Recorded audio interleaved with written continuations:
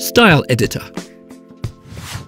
Every template has a few different colour styles, font sizes and types of buttons. Styles can be easily changed using our Styles Editor. Just click the Styles button and define the style you want for the whole template. Let's have a look how to change the parameters for text in your template.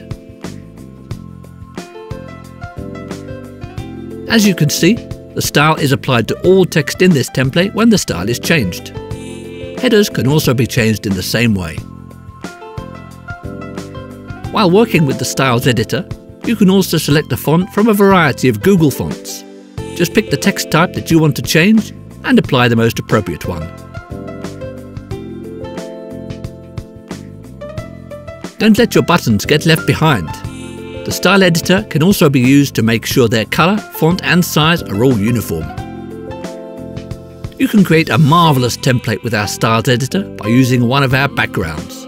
Just remember to choose the background that will suit your layout. This is the kind of finishing touch that gives your design that extra something to make it stand out. Also, we recommend that the width of your template be no more than 640 pixels. But for a non-standard resolution, you can change it in the Styles editor. We wish you the very best in your campaigns.